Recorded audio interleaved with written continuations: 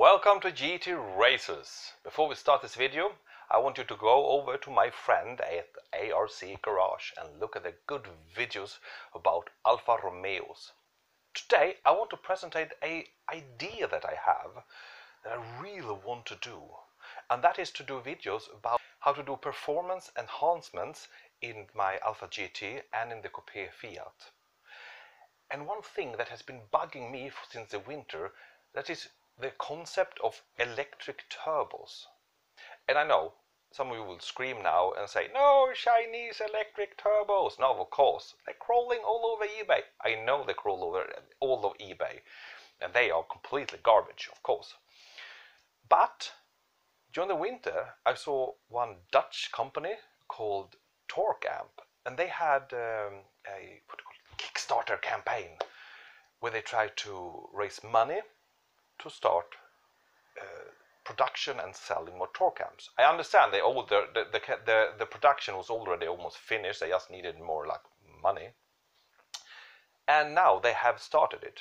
So in my head it was like, what if I could get my hands of one of Torqamp's electric turbos dash superchargers. I say turbos. I know you can say superchargers, but I say turbos. But what if I could, what if I could get my hands on one of those and try to install it in my Alfa GT and see what happens? And also do a installment in the Fiat Coupe and see what happens there too. So what is an electric turbo? Well, so as you all know, a turbo is exhaust driven. That means it takes the pressure and the flow of hot air from the exhaust and push it back up to the turbo and that spins up, sucks in a lot of air into the engine so the horsepowers increase and the torque increase too. A supercharger, ah, it's similar, but it's the normal thing is it's belt driven. So when you push the throttle, this sucks in. I mean, it's, it's proportional to your you know pressing down the pedal. But, but with the turbo, it's a problem with the lag because the engine, when you push down, engine has to rev up to a certain amount for the flow to make the turbo really sucking in air. So you have a turbo lag. I have been looking at exhaust driven turbos and belt fed supercharger for my Alfa GT. But I realize the sheer amount of work I have to do to put them in is like big you have to take up all the engine and you and it, you have to have a lot of skills and knowledge that I really don't have. So if I bought one of those, I would have to take my Alfa and the supercharger or the turbo and take it to a specialist mechanic who will put it in. And I'm like, a lot of money. I can't make videos. I don't want to do that. So the whole concept for me of of using the electric turbo is very appealing. And why I like Torqamp's idea is that their electric turbo that works as a supercharger, that means that the more you press down the, the throttle, proportionally it revs up the electric turbo. So you have a direct, almost direct, uh, effect. So it's no lag. And why this work, as I understand, is because this electric turbo has a external power source.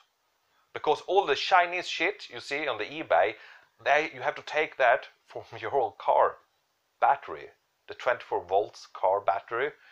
And of course, that's sapping energy also from the battery, so everything else would like go down in effect.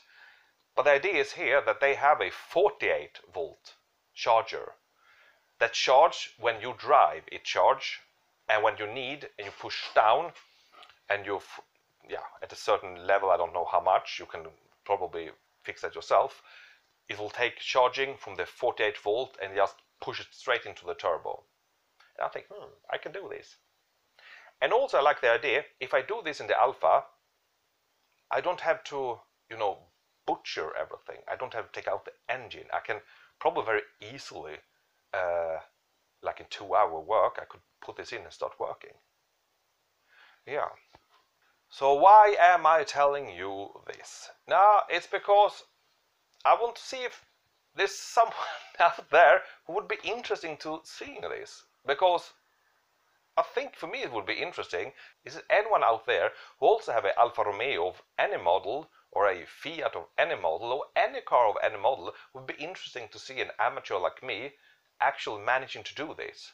And of course we need to do dyno before and after and remapping of course to make everything work. So you see it, it, it's a it's still a big process with many steps. And you always have so many good comments and you have always so many good ideas. So please give me some feedback. Am I stupid or could I actually do this? And could it be fun? And could it be fun videos to see if it works? I have watched Torqamp's own videos that they have on your YouTube channel where they do dynos and they try it on many different kinds of, of, of vehicles. But you know, I get skeptical because they are doing it. And that is not very objective. So actually, this idea was not really very hot for me until I saw Cleetus McFarland. He did first a cheap Chinese test, and that went, of course, badly wrong, and it doesn't work. Uh, and then, after that, Torqamp, I don't know how they got in contact with each other, but someone called someone they sent over one of their electric turbos and Cleetus McFarland did first one video that got very popular, amazing amount of hits. And it's like, hmm, actually, this works. And then he, then he and the team continued to do more videos and testing this. And then I got, damn, I can do this. I can really do this. And even newbies me can do this. So, yeah, let's get us a Torqamp Electro Turbo DAF Supercharger. Thank you for watching this small idea video. So please like and subscribe and give me comments if this is a good idea or if it's a bad idea or any kind of comment. Just be polite. So I answer to almost every comment.